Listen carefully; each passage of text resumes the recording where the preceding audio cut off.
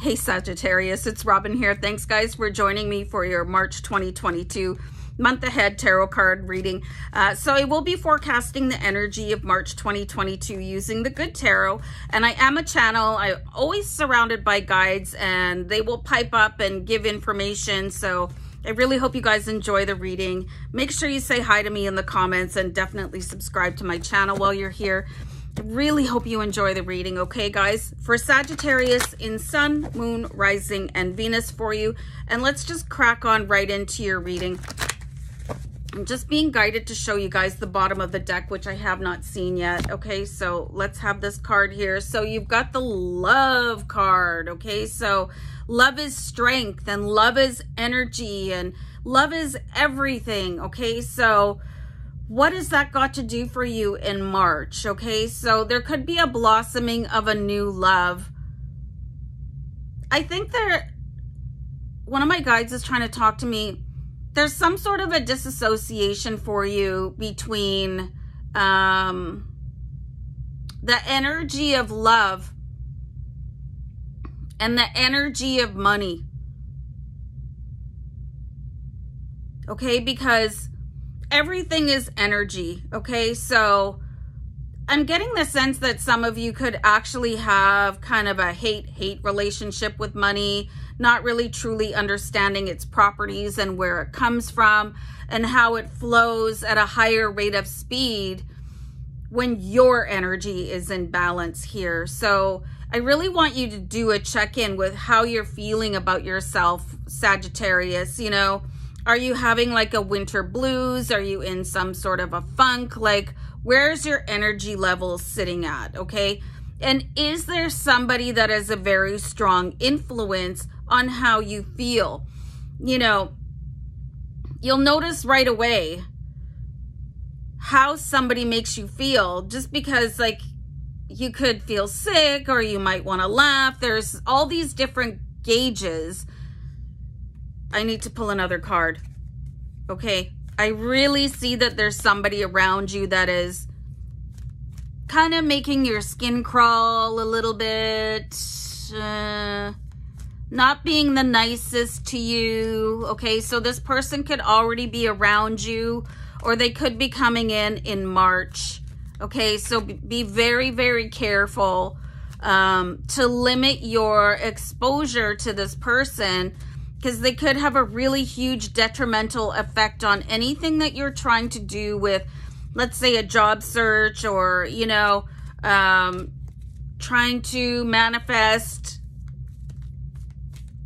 if this person isn't making you feel like this, what are they doing in your life? Okay. Sometimes you're in a situation where it's your boss or your coworker, but you can do things to get out of those situations. If you need to be looking for a new job, then this is the time to do it, okay? Because you're being given the gateway to give this person the boot, okay? Because they don't belong in your life right now. They're really bringing you down. They're really reminding you of somebody in the past as well, okay? Why does this keep happening to me? You know, why do I keep on meeting this type of person? Okay, because you haven't resolved it in yourself to no longer tolerate that type of behavior from somebody else. We do have the five of water. This is a very powerful card. It's being like dragged all the way back to some sort of childhood memory. And this person that is coming in in March, not a good childhood memory, by the way. Like feeling unloved and unwanted and panicked and stressed out and there is something about somebody that is coming in. So either they're going to remind you very strongly of this person from your childhood, or it could be them again for some reason.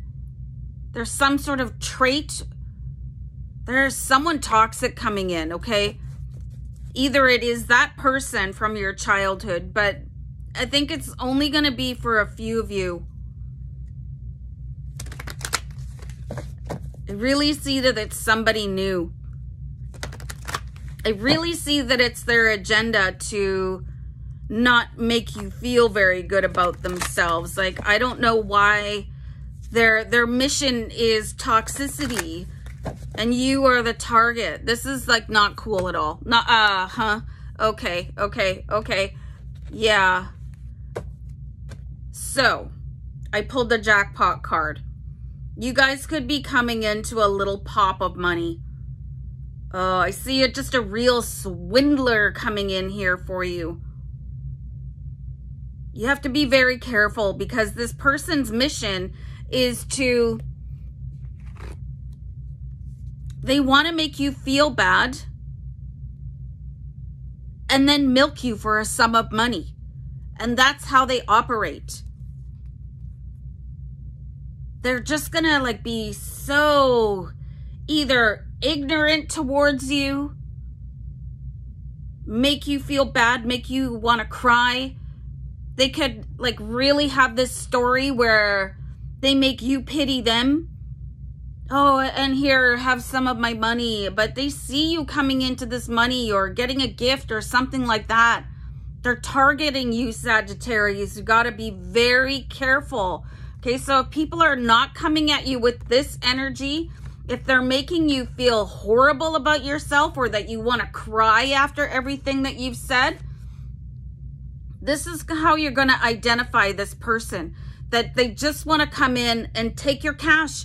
They want to like live at your place for free or have you subsidize them. This is not a good person coming in. This is not a good person coming in. And your emotions and your stomach and your skin, everything is going to tell you cut this person off right now because all they want is a paycheck. Not cool. Okay. So avoid that. Let your senses guide you as well. Okay. So you can see the difference here. People make you feel like this or people make you feel like this. Get rid of this person ASAP. Okay, so wow, I'm to go, Sag. Take care. Bye.